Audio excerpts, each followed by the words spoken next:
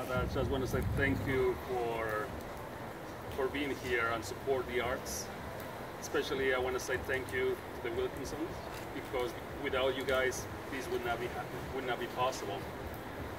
And also want to say thank you to Jim Griffith for trusting in me with this with this vision and creating this and making it happen.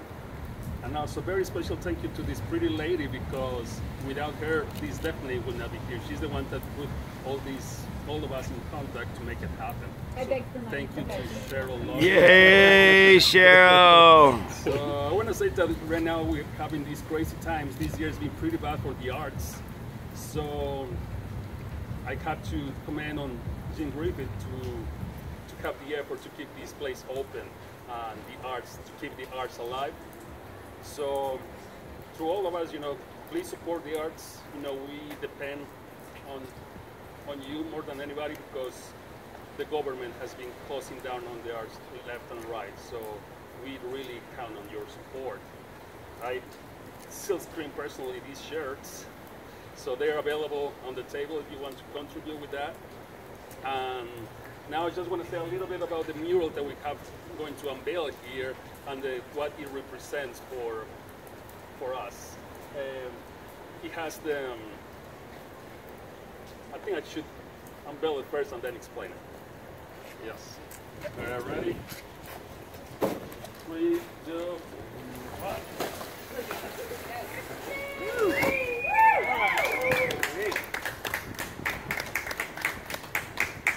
So, in the beginning, the moon is what created, what made life possible on this planet, creating the tidal waves. So that's how the life started in our oceans.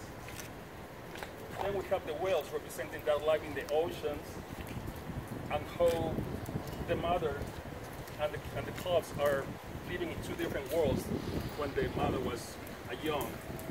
So they are the represented communicators in the spiritual world, and that's what we're trying to communicate here. Uh, that we need, uh, we need that communication between us, with the planet, to stay in contact with the planet, because we live in this era that we might be losing every single kind of life.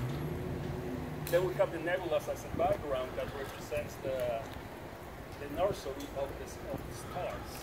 Each star is, uh, represents the, the idea of life because each sun can have infinite planets that each planet can have life. So if we see this immense amount of planets in the universe, but we cannot reach them yet.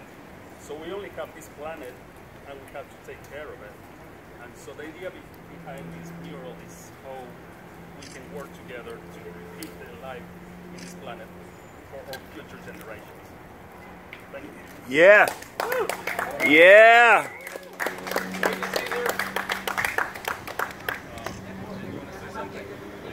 Thank you to the sponsors for making it happen.